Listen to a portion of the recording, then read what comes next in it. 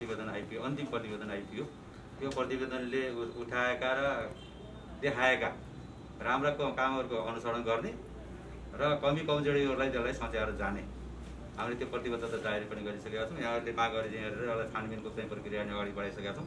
र मेरो अलिकति मात्रै कुरो कहाँ भन्दा तेह्र करोड भन्नुभन्दा एक करोड त्रिहत्तर लाख त्यो चाहिँ नमिलेको नदेखियो के अरे न हिसाब मिलान नभएको साँच्चै हो।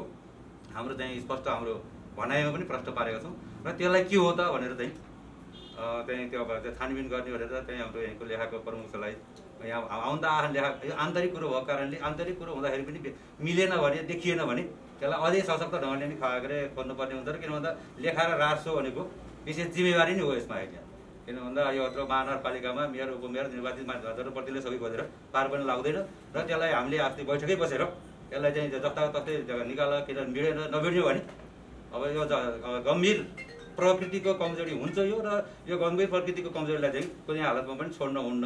म यहाँहरूसँग मात्र के अनुरोध गर्छु भन्दा कसैले पनि हाम्रा र हाम्रा र तेह्र नभनिकन त्यसलाई चाहिँ कडाइका साथ कारवाही कारवाही का- का- का- कारवाहीको दा दायराभित्र आउने ल्याउने कोसिस गरिरहेका छौँ र छिटोभन्दा छिटो नै त्यसलाई के भयो भन्ने कुरो पनि किन भन्दा जिम्मेवार पार्टीहरूलाई जानकारी दिनु हाम्रो फेरि कर्तव्य पनि हो आइदिनु त्यसो त्यो त्यो देशतिर हामी हुन पुग्नेछौँ। अब हामीले कुनै त्यस्तो लोभ र लालचना र चाहिँ रियाल चाउनु पर्ने हो जस्तो मलाई लाग्दैन आइदिनु त्यसो भएर नचाइकन यहाँसम्म आइयो भने अझ चुहाएर कहाँ जानु छ फेरि?